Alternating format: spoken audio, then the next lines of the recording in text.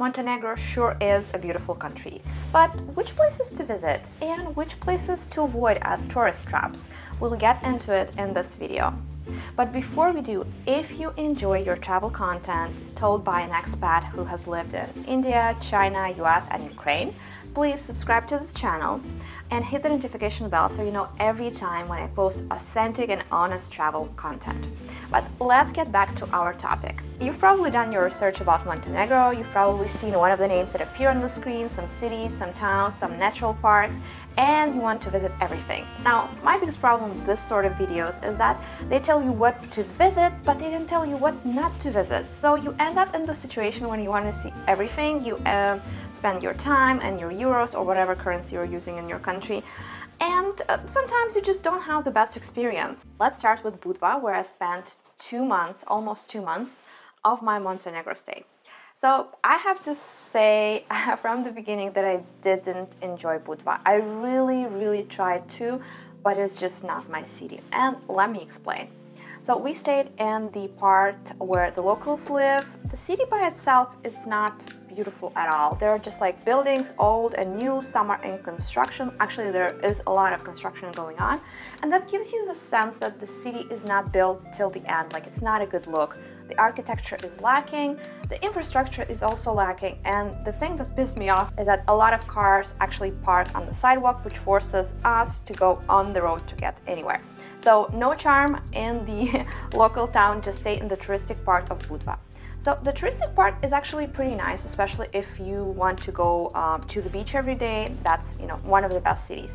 But if I compare Budva to other places, actually like it's lacking almost in all the way. So Budva does have a decent beach, you know, some rocks, some sand. But if I think about picturesque beaches, the ones in Budva don't come up to my mind. They're actually more beautiful places, and I'll get into that later in the video. Budva has a nice old town, but it's not very lively, it's not very happening. And when I think about the Kotor old town, you know, I'd rather go there because it's much more beautiful, much more historic, and just more charming.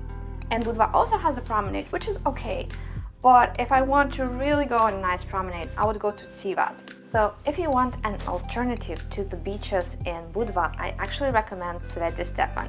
I've been there two times, a 20 minute ride from Budva, and Sveti Stefan is so charming. It is so beautiful, and those beaches are to die for. If you have seen them on the videos or photos, they are as beautiful as they say. A visit to Sveti Stefan is worth it in any case. The island is one of the most beautiful attractions of the country and you know swimming there is it just feels magical. Um, the most beautiful viewpoints of Sveti Stefan is actually from the top. There's a really nice cafe there. You can get lunch or maybe a coffee and look over to the island. The island, unfortunately, is only open to hotel guests and a stay per night for one guest is like 1,600 euros. So I'm pretty sure it will be out of pocket for a lot of people. Around the beach, however, you can find great and inexpensive accommodations and some of the most beautiful views of Sveti Stefan. Also, near the beach, there is a small walk uphill into a forest of pines, which I recommend taking. And it takes you down to another beach, like the third beach that a lot of people skip. That one is really charming also. Then there is Kotor. Actually, I've been to Kotor um, three times, I think, and I really love the city. It's just beautiful, it's historic, it's charming. Weather-wise, because it's in a fjord, the weather there is much cooler during the summer than in Budva, but that comes also with less light and also with a lack of beach. So if those are things that are important to you, probably Kotor will not be a good fit for you. Kotor is a historic city and it has um, been built in the 12th, I think 14th century. It's super old, it's super beautiful, very charming. Um, but it has a slightly different problem because uh, Kotor is a UNESCO protected um, uh, place, site. It's very popular with tourists and when the people come to visit the city, it gets very crowded very fast. So if you want to explore the city, if you want to have some time for yourself, definitely do it in the morning or in the evening. Also, Kotor offers a couple of um, tracking uh, options, which I really enjoy. they were a little bit complicated for me, but we actually did a tracking trip outside of the city and it was amazing. Both the views, uh, when we were going up the hill as well as the nature there. I really, really loved it. If you go to Kotor, obviously you'll see the amazing Boka Bay, but the question is whether it's worth taking a boat tour of the Boka Bay. And my answer is yes, if you make it short. We actually did um, half a day or almost a full day tour where we went all the way from Kotor to the Blue Cave with a couple of stops. We swam, then we went back, then went back to Tivat, then Our Lady of the Rocks, and then in the evening, in the afternoon, we were back in Kotor and it was a very long, very exhausting and not a very interesting tour. So what I would recommend is actually just taking a short version where you go to Our Lady of the Rocks. You can spend maybe 30-40 minutes on the island.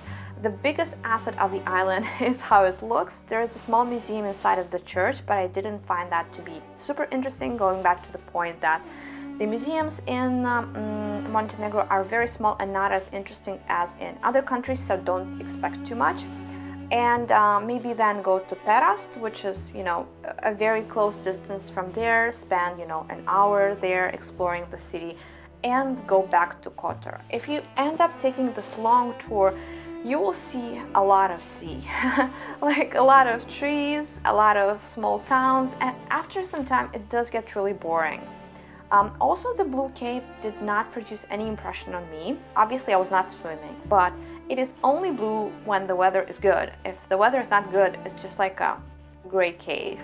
So what happens, you go there and for 15 minutes you swim from one end to the other and then the boat picks you up and that's it. Uh, I wouldn't call it especially exciting and maybe at times a bit scary because like you're pretty much in the open there obviously with a tour guide but yeah the city however that was closest to my heart was Tivat you know I am a sucker for beautiful things and I think Tivat's um, city center the promenade the marina are just exceptional. They are very, very polished. They're very nice. It's just a pleasure to walk there. I don't know why not more cities in Montenegro look like this. Whether you're looking for luxury, exciting outdoor activities, or just to lounge on the beach, Tivat basically offers it all.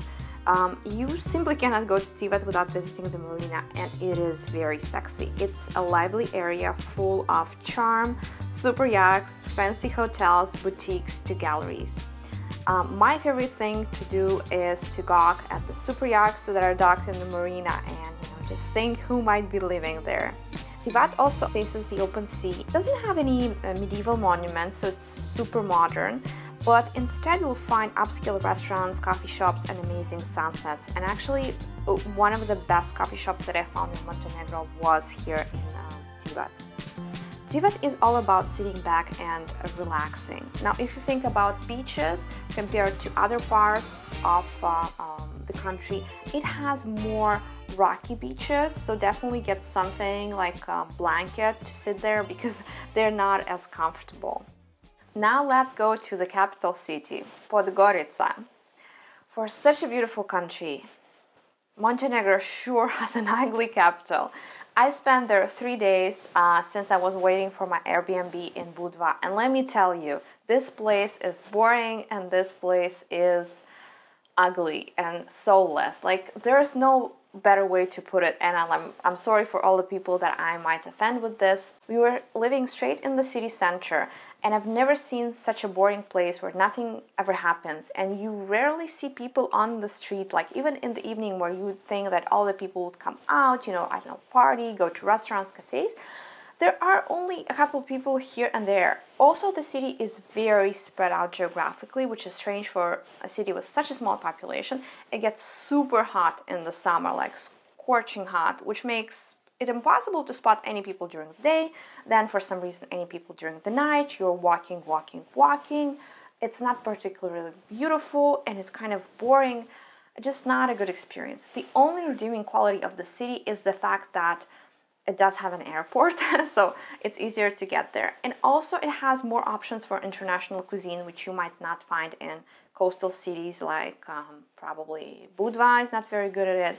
That's it. But trust me, you want to spend the least amount possible of time in this place because, like, it's not a good place. Now let's talk about Cetinje. Cetinje is the former royal capital of Montenegro, and right now it is uh, the location of several national institutions, including the official residence of the president of Montenegro.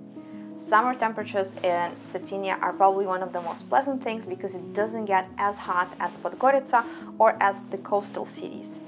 At the same time, it does have a very provincial feel. We were there on the Independence Day and there were a lot of people and it was really happening, but I would think that this is rather an exception than the rule. Um, I would go there for maybe a brunch with friends, you know, to relax for half a day, but I can't imagine myself living there because it doesn't seem very exciting. Also, Cetinje has a pretty big concentration of museums that people like to go to, but I think it's fair to say that Montenegro is a very small country, so um, the museums will be nowhere near as the one that you see in France, Spain, or, or Italy, so I would personally skip them. I don't think they are that interesting but obviously it's up to you and I think the prices are very reasonable. But that being said I would not stop longer than maybe like half a day to one day in Cetinje if you have some extra time. Next one is Skadar Lake.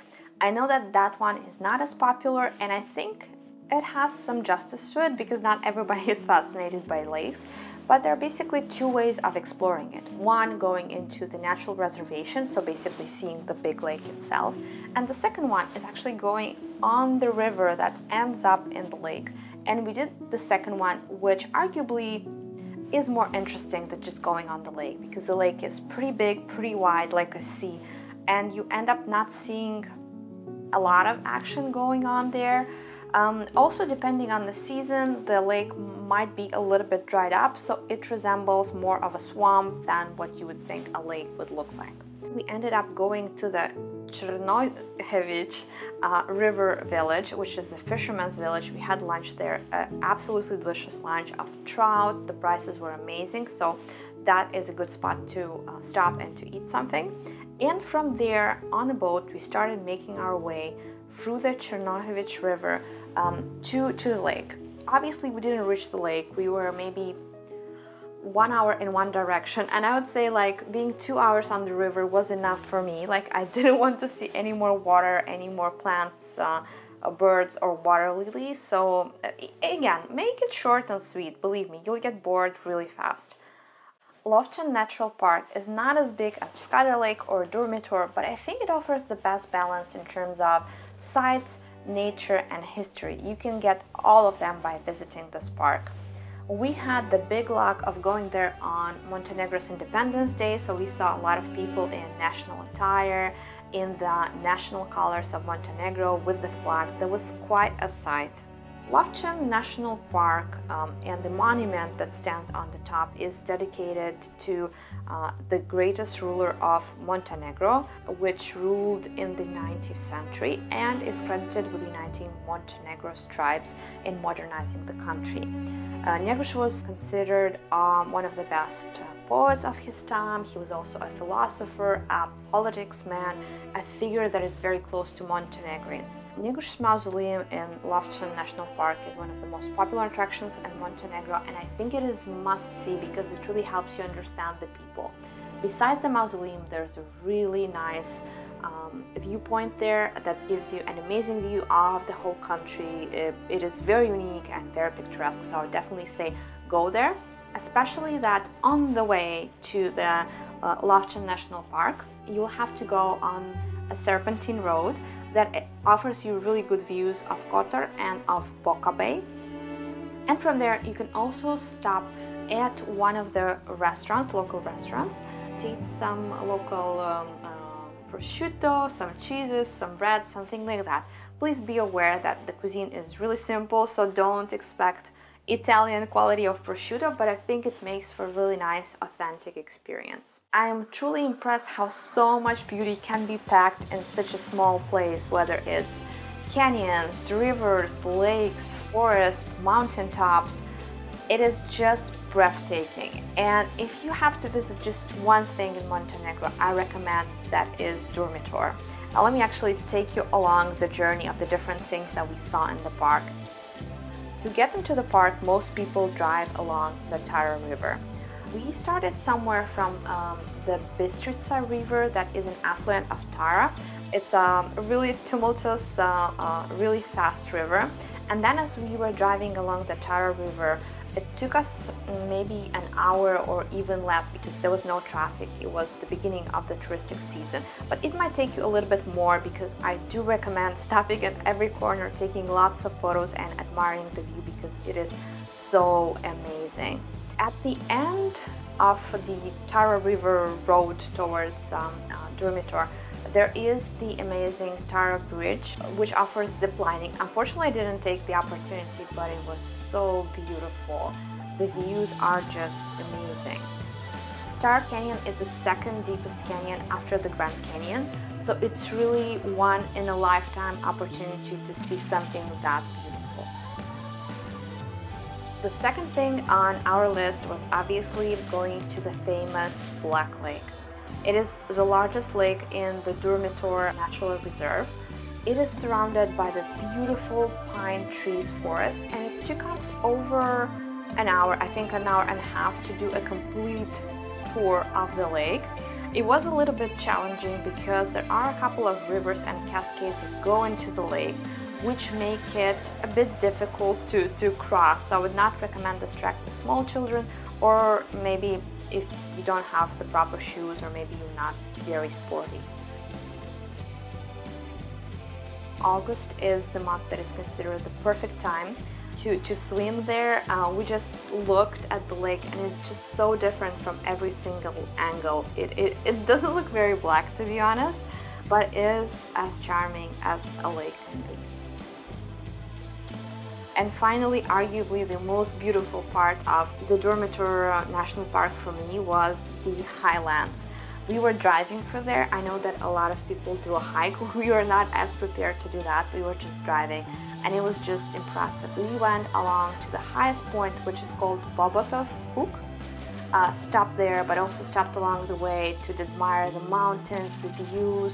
There were shepherds with their goats or sheep going to different places. There were cows. It is such a beautiful place. I'll, I will definitely put it in the video, but you have to come here. It's just this sense of freedom that you get when you come here that is unparalleled. I would only imagine how beautiful it is to hike here. Well guys, that's it. Thank you so much for watching. If you're planning a trip to Montenegro, let me know what are the top destinations you would want to go and what are some places that you want to skip after watching this video. And if you've already been to Montenegro, please let us know, everybody, what were some of the disappointing things that you did here that actually you thought they would be better, but they ended up being kind of meh. I think it's much better when we share this kind of knowledge and that can make an impact on how we plan our trips and how much pleasure and good memories we can make from a place. Thank you so much for watching. Don't forget subscribing and hitting the notification bell and I'll see you in the next video. Bye bye!